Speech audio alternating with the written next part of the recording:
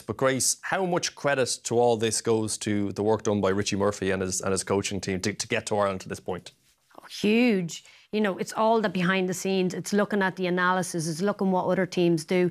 It's looking at the skill sets of the team. It's looking at what strengths and weaknesses do they have and what sort of game plan are you wanting to play? And, you know, when you see the likes of Sam Prendergast and his game management, then you can understand that they're discussing that, going, right, if this happens, what are we going to do? Everybody's on the same page, knowing, right, I'm we're kicking, we're using this advantage and we're kicking cross-field kick. Like, you know how influential he is when th- their backs are against the wall they're struggling. They're after going to try down in the second half, and they're able to pull themselves back up. They're able to keep to their structures and know exactly what they're going to do to, to keep driving. And that's a sign of really good leadership. And there's probably a great example for senior players and more experienced guys to.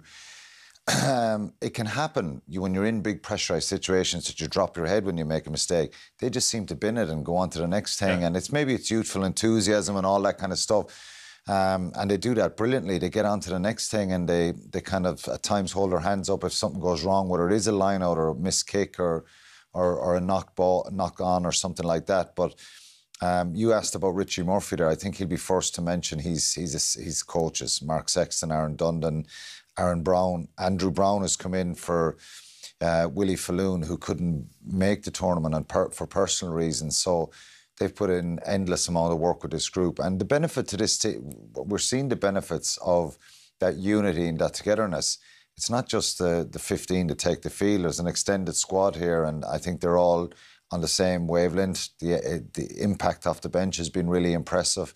And they've had time to build up to this tournament. So to get to a final, it's another kettle of fish who they'll play. Um, we suspect it'll be France, who yeah. knows? But you know, they've put themselves in a great position now that um, they can go and enjoy it, and, and, certainly they'll be very, very determined to try and win it.